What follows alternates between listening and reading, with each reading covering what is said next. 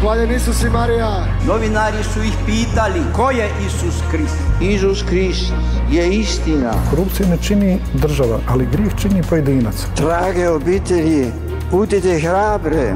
Vi ste novinari, vi istražujete. Ja sam dobar trener bio i to je samo što sam znao. Volio bih pozdraviti moju Hrvatsku. Imamo svoju Hrvatsku. Argumenti. Istina. Srce svake vijesti. Lijep pozdrav poštovani slušatelji i cijenjeni gledatelji, ja sam Daniela Dujmović-Ojvan, urednica današnjih argumenata. Strani radnici u Hrvatskoj trenutno čine gotovo 10% radne snage. Samo protekle godine izdano je oko 170 tisuća radnih dozvola, a Hrvatska udruga poslodavaca procjenjuje da će do 2030. svaki četvrti radnik u Hrvatskoj biti iz inozemstva. U jeku stihijskog uvoza stranih radnika i to sve više iz azijskih zemalja, Hrvatska još nema ni imigracijsku politiku, niti plan integracije, iako se integracija velikog broja doseljenika pokazala ogromnim zalogajem i za daleko uređenije zemlje u Europi. Stoga ćemo o toj gorućoj problematici u argumentima razgovarati s našim današnjim gostima. Demografkinjom Sanjom Klempić-Bogadi i sociologinjom Snježanom Gregurović s Instituta za istraživanje migracija, a s nama je i dobro poznati ekonomski stručnjak Mladen Vedriš. Dobrodošli u emisiju. Dobar dan. A vi, poštovani slušatelji, možete nam se javljati SMS-om na 099 4609 988, a na Facebook stranici Hrvatskog katoličkog radija možete pratiti prinos uživo te postavljati pitanja i ostavljati svoje komentare. Evo, gospođo Klempić-Bogadi, kako je to Hrvatska od emigracijske u kratkom vremenu postala imigracijska zemlja? Od zemlje koja je prije samo deseta godina brojala nezaposlenost od nekih 17%, postali smo zemlja u kojoj kronično nedostaje radne snage. Pa kada govorimo o Hrvatskoj, uglavnom se ističe baš taj emigracijski karakter Hrvatske, međutim moram reći da se zanemaruje da Hrvatska već desetljećima u stvari imigracijska zemlja i Hrvatska je u stvari u socijalizmu nadoknađivala manjak radne snage iz tadašnjih jel, bivših e, republika Jugoslavije, najviše iz Bosne i Hercegovine. Međutim, s obzirom da je bila riječ uglavnom o etničkim Hrvatima koji su doseljavali u Hrvatsku, mislim to se i nastavilo i nakon Hrvatske neovisnosti, oni su imali državljanstvo, zna, naravno znaju jezik, kultura, mentalitet, sve je to isto i onda to u stvari nije izazivalo možda toliku pažnju i nismo ih doživljavali kao imigrante. Međutim, u posljednjih nekoliko godina, s obzirom da se diverzificiraju zemlje iz kojih dolaze imigranti, to je u društvu puno vidljivije. Pa Hrvatska je u stvari bilo dosta ekonomsko nepovoljnoj situaciji u trenutku kad smo mi ušli u biti Evropsku uniju jer se jako sporo ekonomski oporavljala imala jako visoku stopu nezaposlenosti, to ste rekli i uvodno i dogodilo se da su jednostavno stanovnici Hrvatske državljani iskoristili tu mogućnost e, što su imali pristup tržištu rada europskih zemalja i iselili. Mislim, nepovoljni demografski procesi već desetljeća prate Hrvatsku, znači ide populacija i starenje stanovništva i suvremeno iseljavanje samo sve te u stvari procese jako ubrzalo i danas možemo reći s obzirom da već ha, više od 30 godina imamo negativno prirodno kretanje, znači imamo taj niski TFR, uz ovo suvremeno iseljavanje, ono u stvari samo ubrzalo te demografske procese. U radno aktivnu dob nam dolaze sve manje generacije, znači sve već rođenje manje generacije. Veliki broj je iselio, uvijek iseljavaju uglavnom između 20 i 40 i jednostavno dogodilo se to da smo mi ostali bez radne snage. Recite, ko, koja je struktura današnjih uh, radnih migranata? Tko ulazi manje više iz e, naših susjednih zemalja, sve više iz azijskih zemalja? Nepal, Filipini, Indija i ba Bangladeš. Oni su najvidljiviji, mislim, njih sad sve više uočavamo u društvu. Pa da, zato što se oni fenotipski razlikuju, pa onda su oni vidljivi u stvari u, u nekakvom svakodnevnom životu. Međutim, lani je Hrvatska dala nešto više od 170 tisuća dozvola za strane radnike, od toga je bilo oko 40 tisuća za produljenje.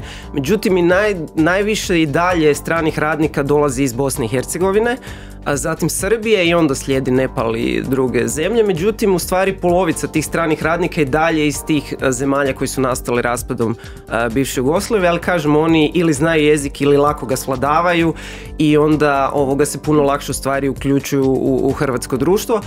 Ono što je jasno da je sada ovoga trend da je značajno raste, ali tako, broj ljudi iz azijskih zemalja, možemo očekivati da će se nastaviti, zato što su sve ove zemlje koje su naše kao nekako bile prirodno tržište za radnu snagu, u demografski istim problema ili čak većim od Hrvatske, znači sve manje mladog stanovništva koje bi moglo odseliti, tako da se tu mi više ne možemo previše nadati da ćemo iz tih zemalja brojni dobijati radnu snagu.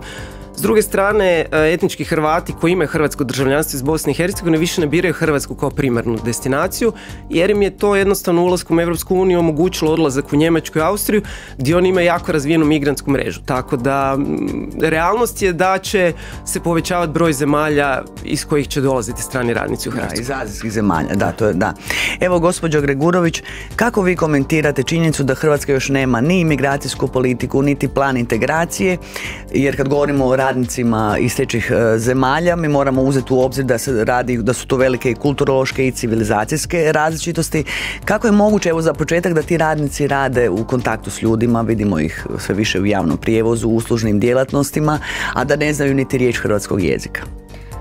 Pa ovako, prvo što se tiče Mhm. politika, dakle Hrvatska e, ne samo da nema integracijsku politiku koja je koja se posljedično donosi nakon nekih drugih migracijskih politika, ona nema e, ni useljeničku ili imigracijsku politiku, pa zato i svjedočimo ovome e, što se sada događa, e, a to je prilično stihijsko useljavanje. Nema selektivnih mjera, e, ne potiču se određene kategorije, da tako kažem, migranata, nego tržište rada u stvari diktira e, tko će se useljavati, odnosno kojim tempom će se useljavati. E, Sami dokumenti migracijske politike su postojali u Hrvatskoj e, u proteklim razdobljima. E, Postojala je migracijska politika, prva je donesena u Hrvatskoj za razdoblje 2007-2008. Kasnije druga politika u kasnijem razdoblju za 2013-2015 je donesena.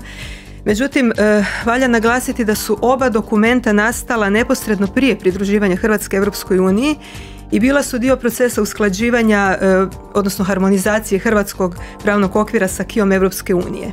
Tako da tu e, u tim politikama ne vidimo da su don- donošena neka dugoročna, da su se donosila neka dugoročna rješenja e, u kojima se strateški promišlja o nacionalnim interesima i o stvarnim potrebama hrvatskog društva kada je riječ o konkretno use- useljavanju.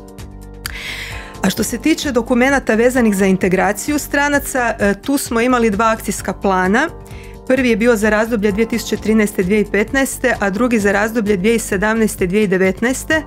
Međutim, e, ti su se planovi odnosili na integraciju osoba kojima je odobrena međunarodna zaštita, dakle na azilante.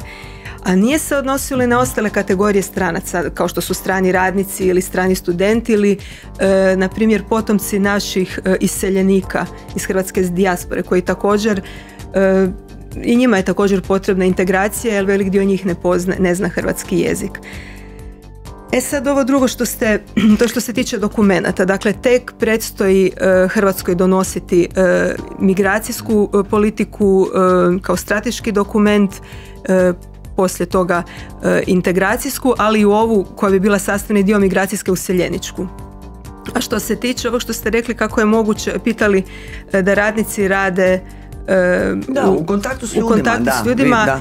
e, pa tako što je naprosto novi zakon o strancima sa svojim izmjenama im to omogućio. Znači, više se ne zapošljavaju strani radnici kroz sistem kvota, kao što znamo, nego Da, dajte da se malo uveo- to kako je sad, znači ukinute su, o, taj sustav o, kvote je ukinut i kako sad tu funkcionira, taj test tržišta rada? Pa test tržište rada funkcionira tako da se on provodi za ona zanimanja e, za koja postoji mogućnost da će se netko od hrvatskih radnika prijaviti. Međutim, e, postoji lista deficitarnih zanimanja za koja se ne mora provoditi test tržišta rada. To su gotovo sva obrtna zanimanja. Mislim da ih na listi ima, ne znam, preko sto. E, I e, tu se može u stvari uočiti da ima i nekih nelogičnosti, upravo kod liste tih deficitarnih zanimanja, e, koja se odnose na te vezane obrte. To su obrti za čije obavljanje potreban ispit o stručnoj osposobljenosti, odgovarajuća srednja stručna sprema ili majstorski ispit položen. Dakle, poslodavac prilikom zapošljavanja stranog radnika iz treće zemlje e, ne mora uopće priložiti dokaz o obrazovnoj kvalifikaciji ako u testu tržišta rada nije navedeno da je potrebna ta dokumentacija. Se I onda imamo praksi, situaciju da. da, da dolaze ljudi koji e, ne moraju e, niti naravno poznavati jezik, ali ne samo to, upitno je koliko su oni osposobljeni za, za obavljanje određenog posla. Ako se ne mora ako ne moraju dokazati, ako poslodavac ne mora priložiti dokaz o njihovoj e, obrazovnoj kvalifikaciji. Tako da tu evo nastaju da, i problemi. iz Nepala i Filipina uopće iz tih zemalja i te znači, kvalifikacije, ko to može provjeriti? Jel oni uistinu imaju nekakve stručne kvalifikacije ili ne? To je riječ o nekih 60, e, 61 zanimanje iz područja vezanih obrta. evo gospodine Vedrišu, kako vi komentirate aktualnu situaciju gdje se zapravo je omogućen zapravo stihijski uvoz stranih radnika, posebice iz trećih e, zemalja? dakle, sve je prepušteno poslodavcima. Molim vas da prvo komentirate taj dio, znači, da znači za ispunjavanje kratkoročnih potreba bez ikakvog plana i strategije i većinom je riječ o nekvalificiranim i nisko kvalificiranim radnicima. Jesu li rješenje i spas za hrvatsko gospodarstvo, kako neki navode, posebice poslodavci? Pa prvo, evo, dobar dan svim našim slušateljima. Vjerujem da je ova tema itekako intrigantna za svakoga od nas jer ima ili kontakt e, poslovni ili ljudski sa tom jednom novom pojavom i kolegice su vrlo dobro osvijetlile tu imigracijsku scenu jer mi smo u Hrvatskoj paralelno izloženi emigracijskoj i imigracijskoj sceni događanja. E sad što i kako se ovo dogodilo? Dogodilo se spontano i proizlazi zapravo iz karaktera naše ekonomije aktuelne Prvi udar potreba za povećanom radnom snagom iz e, vanjskih e, zemalja drugih destinacija je bio turizam. Vi znate da svake godine pred turističku sezonu bio je vapaj turističkih naših menadžera, djelatnika da nema dovoljno ljudi i to nema dovoljno ljudi prvenstveno bilo kod onog kvalitetnog dijela to su bili kuhari ili onoga dijela ja bih rekao široke palete to su pomoćna radna snaga raznih vrsta. To je bio prvi val. Kako je Hrvatskoj išlo relativno dobro, turistička sezona je svake godine bila bolja, ta se potreba povećavala, a paralelno potiho dobar dio kvalitetnih radnika iz tog turizma odlazio je van na pogotovo Austrija, Njemačka, Švicarska, to područje gdje su imali bolje prihode. Drugi val je nastupio vezano uz građevinarstvo, jednim dijelom dio Hrvatske koji je bio pogođen potresom, Zagreb, Županija druge. I tu se je pokazalo također da je Europa nakon Hrvatske punopravnog članstva osjetila, ja bih rekao, i svoju konjukturu, zamah koji je krenuo i ranije i dio je građevinskih radnika, pogotovo kvalitetnih majstorskih znanja obrtničkih je otišao također van. I treći val je bio ovaj sada koji je vezan uz e, sociologiju događanja, dijelom nove navike, a dijelom i ovo što je donio postpotresni period, to je zapravo ova dostava. Znači, vi ste vidjeli Hrvatska trenutno po toj dostavi, pogotovo urbane sredine, spada među nekoliko vodećih e, država i to je novi sociološki fenomen. Vi imate situacije da koji put na 100, 200 ili 300 metara udaljenosti od lokacije gdje se hrana priprema da netko naručuje kod kuće ruča. Tako da to su bila tri udara koja su dovela do potrebe za novom e, radnom snagom, bilo da zamijeni dio postojeće, bilo da povećani opseg poslova ih zahtijeva. Međutim, i tu je bitno, međutim, moramo razlikovati nešto što predstavlja trajni dolazak, useljavanje i nešto što predstavlja ad hoc e, cikluse sezonske. Hrvatska sada razmišlja o tome da nakon godine dana protuži davanje dozvola na tri godine. Švicarska dugo ima praksu, imala je, ne znam u kojoj mjeri je to danas ostalo, devet mjeseci za građevinske radnike turizam jer na taj način su vezali te radnike da obitelji njihove ostaju kod kuće, obitelji, školovanje, djeca, stanovanje, sve ono što predstavlja nekakav ukupan korpus življenja. Tako da svako ili većina ogromna onih koji je došao danas iz Nepala ili Filipina ipak razmišlja kako će popraviti svoju poziciju ne ovdje osobno nego svoje obitelji kod kuće i koliko god da doznake o kojima ćemo vjerojatno govoriti kasnije za Hrvatsku su značajne od strane naših ljudi koji rade u dominantno Europskoj uniji. Isto tako te zarade koje ostvaruju ti radnici koji su ovdje privremeno na radu dominantno su usmjerene za izdržavanje njihovih članova obitelji. Govoriti o njihovom useljavanju, o zasnivanju obitelji, dovođenju članova obitelji je jedna dosta delikatna situacija jer ja ne vidim da sa razinom dohotka koju oni ostvaruju je moguće osigurati takvo ukupno življenje, a još jedan dio transferirati onom drugom proširenom dijelu obitelji koji je ostao u domicilnim zemljama. Tako da Hrvatska se u ovom času suočava i evo ovdje je to korektno rečeno sa jednim valom useljavanja koji je vezan uz nazovimo zemlje u neposrednom ili bližem susjedstvu i taj dio, pogotovo iz Bosne i Hercegovine, se relativno lako integrira. Tu postoji jaki kapacitet i familijarni, prijateljski i to nije upitno da u nekom vremenu dobar dio njih, e, možda čak sa jednom e, vremenskom distancom odlaska na rad u inozemstvo e, na području Europske unije će se vratiti u Hrvatsku. Ali ovaj drugi dio razgovarati oko njihovoga trajnog useljavanja integracije je jedna tema potpuno nova i ta tema naravno zahtijeva i odgovarajući koncept, migracijsku politiku, sutra se ona preljeva na obrazovnu politiku, to je pitanje ne samo učenja jezika, školovanja, pitanje kulturoloških navika, vjerskih uvjerenja, tako da je to jedno kompleksno pitanje koje Hrvatsku tek čeka da se sa njime suoči. Možda jedan, evo samo ovako detalj ilustracijski, u Rijeci je pred dvije godine ili možda nešto manje dovršen jedan kompleks dvije, tri velike stambene zgrade. Preko 60% stanova su pokupovali ljudi sa područja bivše Jugoslavije na radu u inozemstvu koji vide Hrvatsku, evo u tom konkretnom slučaju morski dio, kao neki prostor gdje će doći u mirovinu ili će njihova djeca doći na školovanje i tako. Tako da taj dio evo integracije koji je vezan uz nedostatak ili nepostojanje jezičnih barijera kulturoloških u nekom širem kontekstu je prisutniji. Ova tema o kojoj sad govorimo još će jedno vrijeme sigurno biti tema privremenog rada, a ne useljavanja ali vrlo brzo možemo, ako se sad i produžuje zakon o strancima s jedne na tri godine, u skoroj budućnosti možemo očekivati sigurno. sigurno, da. međutim postavljeno je pitanje njihove kvalifikacijske strukture. Njihova kvalifikacijska struktura sabije na jedan vrlo uski spektar koji je vezan uz pomoćne poslove u građevinarstvu kad razgovarate sa ključnim ljudima u tom građevinskom biznisu vidite da tu nema puno onih koji imaju kvalitetu da mogu ići na kompleksnije poslove.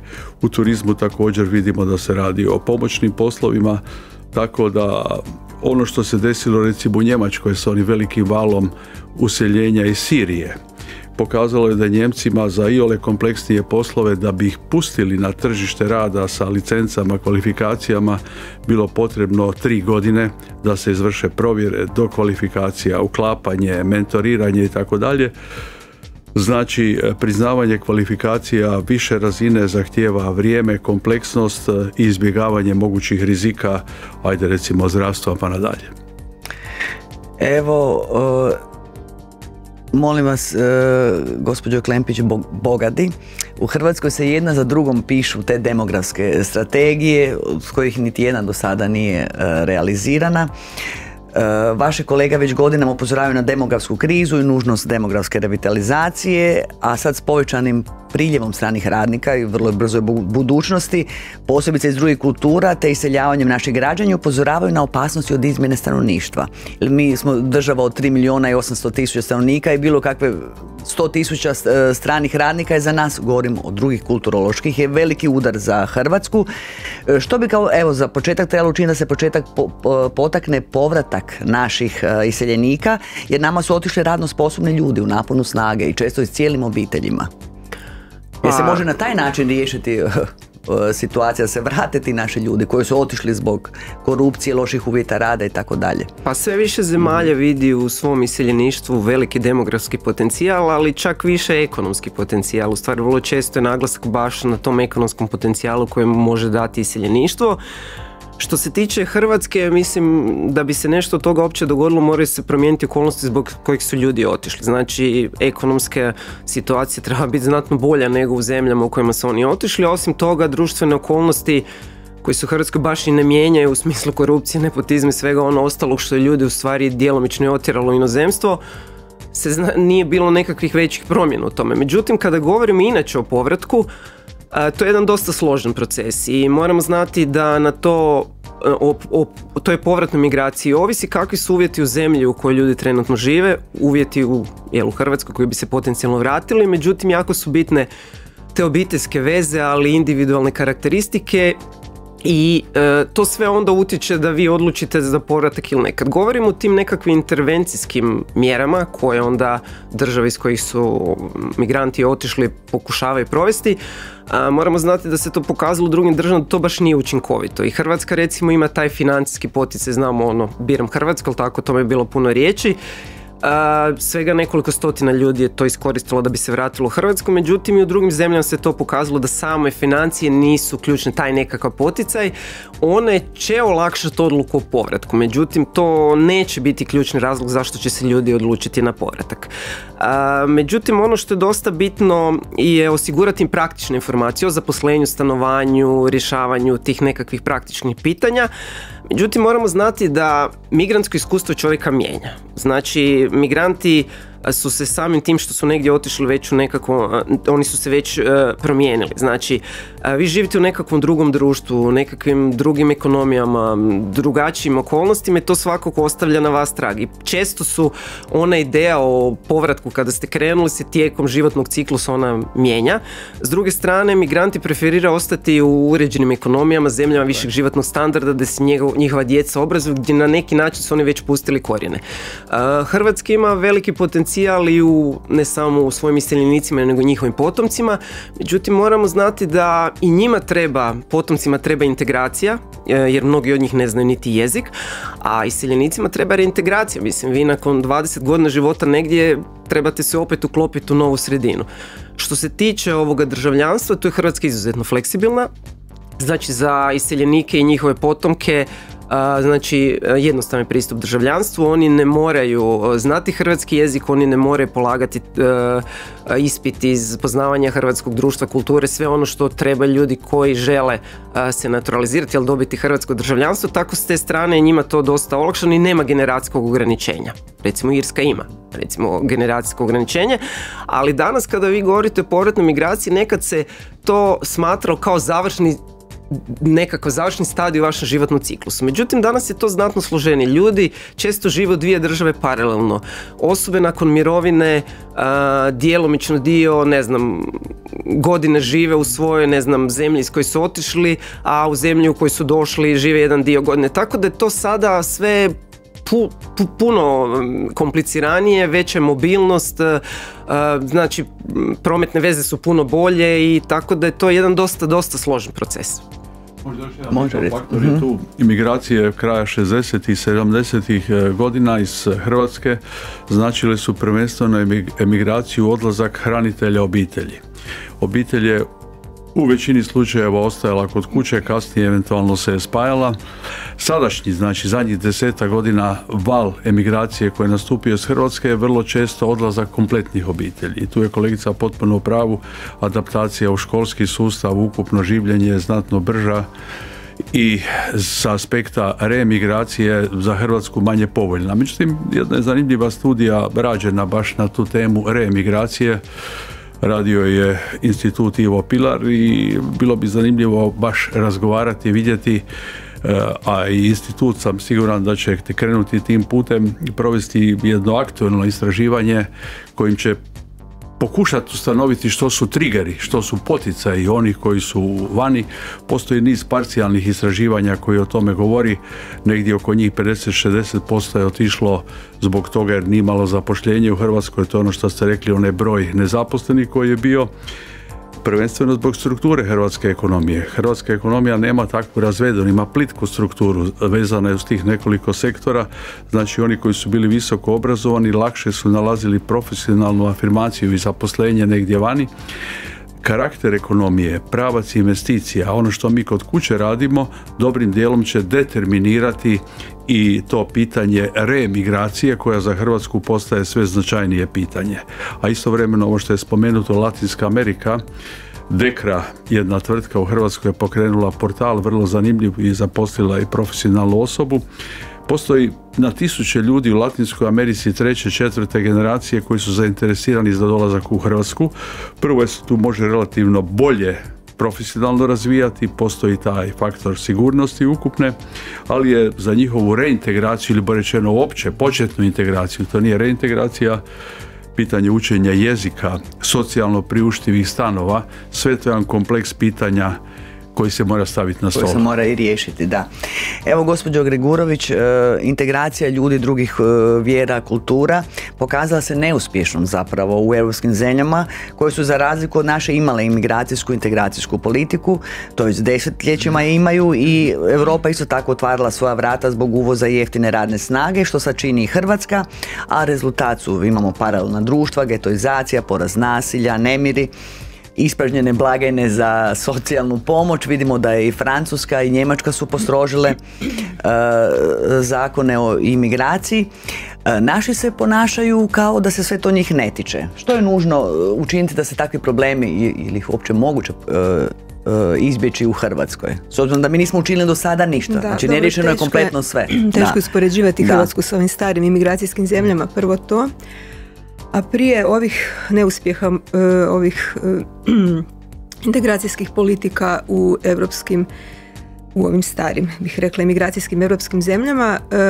E, želim samo reći da Europa nije otvarala i ne otvara svoja vrata samo zbog zapošljavanja, kao što ste rekli, jeftine radne snage, nego i zbog pružanja međunarodne zaštite mnogima koji bježe od progona ratova, nečovječnog postupanja, iz zemalja svog porijekla. E, takav način e, useljavanja nažalost mnogi izlorabe iako nemaju pravo na azil e, dolaze u zapadnu Europu i zato vidimo da broj izbjeglica i tražitelja azila u europskim zemljama iz godine u godinu raste. Primjerice, zahtjev za azil u Njemačkoj u 2023. godini, dakle prošle godine, porasli su za 70% u odnosu na 2022 tako da u Njemačkoj sada živi negdje oko 3 milijuna izbjeglica, ok, tu se uključuju i e, Ukrajinci, ubrajaju Ukrajinci. E, međutim, u Njemačkoj je krajem prošle godine e, odbijeno, dakle preko 300 tisuća ljudi je dobilo rješenje da im je odbijen zahtjev za azil, međutim oni se i dalje nalaze u zemlji i postupak deportacije nije ni malo jednostavan, a često ni dobrovoljan. E sad tu se postavlja pitanje zašto su europska društva toliko privlačna. Da li je to zbog jake socijalne države, da li zbog poštivanja ljudskih prava i sloboda ili zato što imaju e, labav sustav kontrole imigracije, odnosno useljavanja. Zašto primjerice e, zemlje poput Japana, čije gospodarstvo ispred Njemačke, ispred Velike Britanije, e, pa Kina koja ima drugo gospodarstvo na svijetu, pa neke arapske zemlje, zašto one nisu odredište tražitelja azila ni ekonomskih migranata e, ni odredište dakle ovih što mhm. traže međunarodnu zaštitu e, a niti tih ekonomskih migranata e, iako su njihova gospodarstva visoko razvijena Odgovor leži vjerojatno u tome što su one donijele odluke koje zaustavljaju useljavanje odluke koje odvraćaju ljude od toga da ostanu u zemlji i e, imaju e, stroga, za, stroge zakone i otežava se e, dobivanje državljanstva ako niste rođeni u tim zemljama i ako niste u stvari po etničkom porijeklu ne znam tipa Japanac ili Kinez ili iz Arabskih Emirata. U zemljama Europske unije socijalna država i socijalne službe će se pobrinuti da izbjeglice za razliku od ovih spomenutih zemalja, da izbjeglice konkretno i općenito imigranti dobiju svu potrebnu pomoć, e, dobiju e, zaštitu e, što se tiče zaštite ljudskih prava i njihov standard života će biti takav koji se uopće ne može uspoređivati sa standardom bilo gdje drugdje da su došli u neku zemlju i tražili zaštitu, a kamoli da su ostali u zemlji svoga porijekla.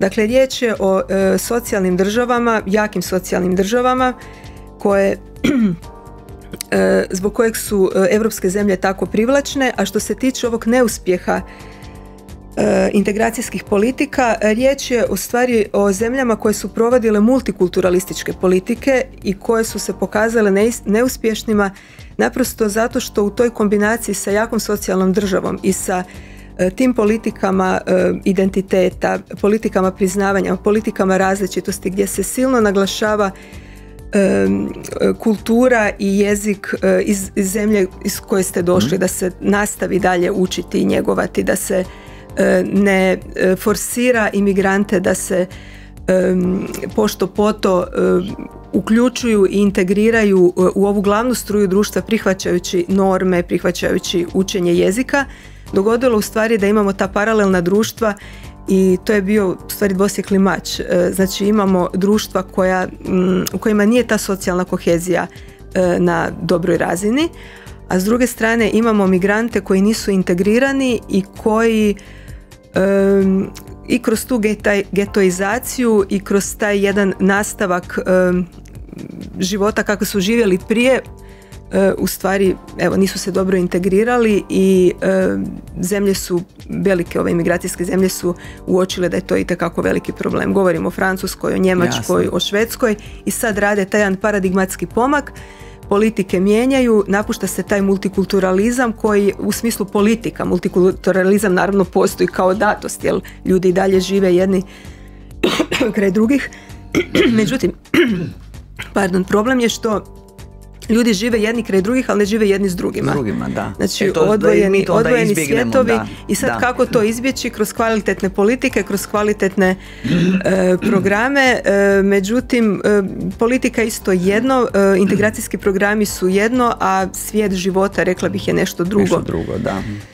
Tako da je potrebna. Evo gospodine Vedišu, znači dakle imamo naš obrazovan i kvalificiran kadar je otišao a dobili smo nekvalificiranu uh, radnu snagu. Uh, recite mi, s druge strane, stvara li se nelojalna konkurencija našim radnicima? Jesu uh, strani radnici u globalu niže plaćeni? Zapravo tu imamo dvije kontradiktorne stvari. Objavljeni su bili njihovi prihodi, su bili u prosjeku, znači u građevini i u tim uslužnim djelatnostima neto plaća je objavljeno da je među 600 i 700 eura. A s druge strane, govori se tu smještaj, prevođenje, agencije i tako dalje, i poslodavci se žale da lako i bez objašnjenja napuštaju poslove e, strani radnici. E sad mi recite kako i molim da se komentirate i zahtjev poslodavaca da se još dodatno olakša i ubrza uvoz e, stranih radnika. To je sad i najnoviji zahtjev poslodavaca. Iako je stvarno fleksibilan da ne može biti fleksibilniji. Svako tu gleda tu priču sa svoje strane. E, nema nelojalne konkurencije jer kad biste imali na tržištu rada nezaposlenu radnu snagu Hrvatsku onda biste mogli govoriti da ovi koji dolaze su im neka konkurencija. Drugo, ne sudjeluju u istim kvalifikacijskim razredima. Kad pogledate građevinske tvrtke i posao koje obavljaju, to su uglavnom pomoćni radovi. Ono što hrvatskom građevinarstvu nasušno nedostaje, to su kvalificirani radnici svih vrsta i dobar dio obnove upravo zato kasni ili poskupljuju se radovi jer naprosto kvalificirane radne snage nema. Ovo kažem šta dolazi je u funkciji neke potpore, čast izuzecima može biti, ali nije to dominantno. To je znači na prvom mjestu. Što se tiče daljnjeg trenda i oko papirologije, dobar dio poslodavaca se žali da sklopi odgovarajuće ugovore, financira dolazak radnika i nakon mjesec, dva ili tri nemojte pocijeniti te mreže koje već postoje, znači postoje već među tim stranim radnicima mreže, imaju nekoga ko za njih, ko je koordinator, organizira posao, znači dođe sa jednom firmom, onda mu on javi i kaže sutra ćeš se pojaviti ovdje, su ti tu bolji ili uvjeti rada ili bolje financiranje ili jednostavno on je dogovorio taj drugi posao, tako da ta interna mobilnost koja ide na štetu tada onih koji su taj aranžman pokrenuli, koji su nekoliko mjeseci čekali da ti radnici stignu, je iduća karika koja mora ovako ili onako biti normativno riješena. Tako da sam uh, proces povećanja broja koji neće govoriti oko sustava upravljanja tim kontingentom radnika na odgovarajući način koji onda normativno pruža sigurnost s jedne strane radnicima, ali s druge strane i poslodavcima, ad hoc rješenja moraju biti prevladana i vjerojatno će biti prevladana, ali to je learning by doing. Kroz korak po korak događaje mi pokušavamo sustizati te procese umjesto da se koji puta unaprijed sagleda situacija i regulira. pred očima, da, da, da. Uvijek se da, recite ovaj, gospođo Gurović. Htjela sam samo uh nadodati uh, najnovije istraživanje HUP-ovo, znači Hrvatska udruga poslodavaca je provela krajem prošle godine jedno istraživanje gdje se pokazalo da je ipak unatoč uvriježenom mišljenju da je strani radnik jeftiniji, pa zbog toga domaći poduzetnici uvoze strane radnike, to ipak nije tako. Jer taj trošak e, traženja radnika, stranog radnika, e, trošak dozvola, e, trošak oko prevoditelja koji postoji, a da ne kažem ovaj trošak vezan, vezan za stručnu obuku, jer smo evo čuli da strani radnici uglavnom nisu kvalificirani za velik dio poslova koji bi ovdje trebali obavljati taj trošak koji sam navela, dakle sve to nije zanemarivo i zbog svih tih dodatnih troškova e, tamo u Hrvatskoj udruzi poslodavaca su naveli da je strani radnik oko 20% skuplji od domaćeg. Dobro, sad ćemo vidjeti tko je kriv. Zašto se to... socijalnih troškova koji slijede, tako da, ova da. ovdje to se kao bumerang intervencija i tekak stoji kao bumerang vratilo poslodavcima. Evo, e, da malo prozgovaramo i kratko, evo na kraju smo emisije, e, ispada kao da su strani radnici nekakav novi e, bazen iskorištavanja, vidimo da ništa nije riješeno, tu se zarađuju milijuni, se zarađuju, evo, jedan medij je napravio istraživanje, kaže da je to veći biznis nego švedsko kaina postao, znači tu zarađuju od stotine tih agencija, njihove agencije, naše agencije, imamo članak da čak 8 od 10 stranih radnika u Hrvatskoj uđe ilegalno do stalno, članaka u medijima gdje u centru Zagreba njih po 30-40 su smještene u stanovima, znači da, dakle nije riješen i taj smještajni dio. E, recite mi, e, je li to možda razlog zašto, s obzirom da je kaos na svim razinama oko uvođenja stranih radnika, je li to možda razlog zašto to država do sada još nije niti počela konkretno regulirati? Znači imamo niz područja koje su ovdje neriješena. Pa mislim, gle, ne puno je... se to tako mirno promat, ali ovo se već par godina je, uh, traje taj trend. da. Puno je tu područja mhm. koji su neriješeni i Hrvatska se definitivno nije pripremila očito za ovu situaciju pa se donose ad hoc rješenja. Sve više tema vezano za diskriminaciju prema stranim radnicima, uh, ne samo u smislu na poslovima nego u svakodnevnom životu. Međutim, moramo znati da stavovi u biti prema imigrantima se temelje na, najčešće na percepciji da su oni ako ih se doživlja kao ekonomsku prijetnju ili prijetnju u Hrvatskoj, to je jako izraženo kao nacionalnom identitetu, vrednotama i kulturama, a pokazalo se da su biti negativni stavovi prema imigrantima u zemljama koji imaju malo migranata, recimo, ne znam, Bugarska, Mađarska i Slovačka i u stvari ono što Hrvatska će morati puno više poraditi na tome, a to je na senzibiliziranju javnosti i edukaciji o, o, u biti migrantima u, u stranim radnicima, jer vi formirate nekakve stavove na temelju znanja, informacije koje imate o njima, a s obzirom da ih ima poprilično sada već značajan broj u Hrvatskoj, to je nešto definitivno na čemu ćemo isto morati kao društvo poraditi. Da, jer ništa nije učeno, molim vas, evo, gospođo Da. dodati ovaj nered koji postoji mhm. kod nekim situacijama.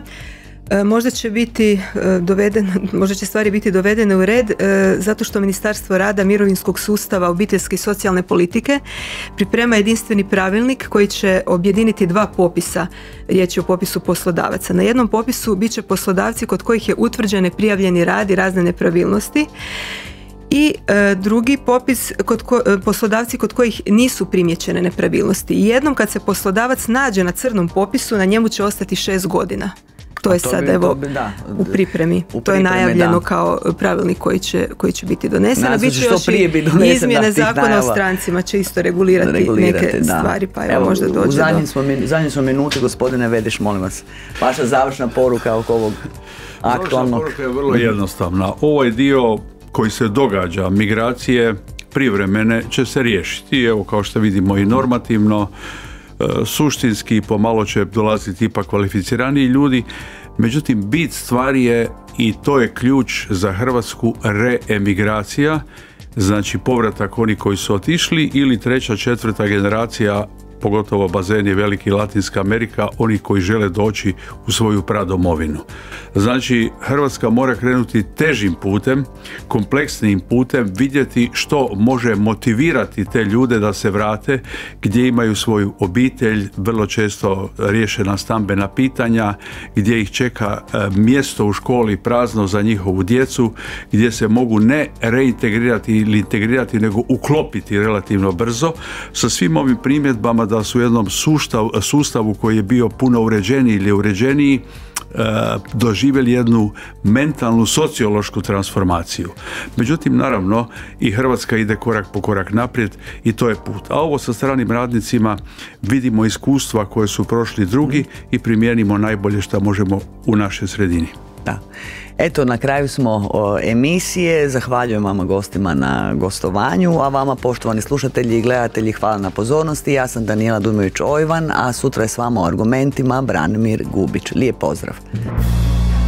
Hvaljen Isus i Marija. Novinari su ih pitali ko je Isus Krist. Isus Krist je istina. Korupcija ne čini država, ali grih čini pojedinac. Drage obitelji, budite hrabre. Pa vi ste novinari, vi istražujete. Ja sam dobar trener bio i to je samo što sam znao. Volio bih pozdraviti moju Hrvatsku. Imamo svoju Hrvatsku. Argumenti. Istina. Srce svake vijesti.